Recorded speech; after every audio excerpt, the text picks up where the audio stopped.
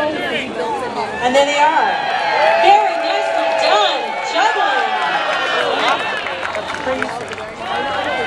Visualize world peace. One hour from now, when the noon whistle goes off, it'll be all pandemonium as the machines circle the plaza several times and then boom, out onto the onto 8th Street where they win their way to the Manila Community Center, change into sand gear, go across the sand dunes, head down Dead Man's Drop, which is also another wonderful place to view the sculptures, by the way, as is the Manila Community Center.